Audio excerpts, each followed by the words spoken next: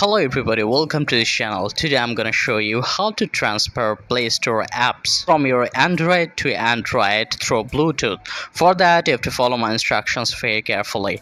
So first of all, I'm gonna show you how to set up the settings from the sender phone.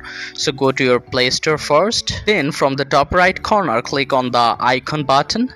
Now you can see a button manage an app device. Click on this button after that you can see a share apps button at the bottom part. You can see a send and receive button as well. So you have to click on the send button. Then you have to click on the continue button. Then click while using the app. Okay. Now you have to select the particular application which you want to send. Just let's say i want to send this application. Now let's go to the receiver phone you have to click on the same icon button from the top right corner. Then you have to click on the manage app and device.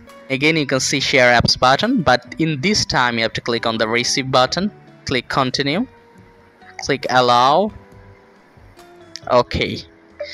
Now for the sender button click on send from the top right corner.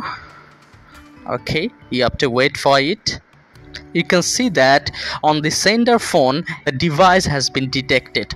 Then you have to just click on that particular device. Here it is. You have to click receive from the receiver mobile. Okay. You can see that it's pending.